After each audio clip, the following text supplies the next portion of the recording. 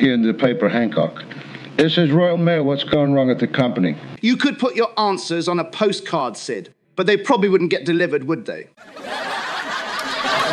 You could make it a dirty postcard, I suppose. At least they'd take a look at it. What I want to know is why they don't deliver my fan mail. That's because you don't get any Hancock. I get begging letters. They deliver those, don't they? But how do they know? How do they know? Are you sure? You still haven't answered mine yet, have you?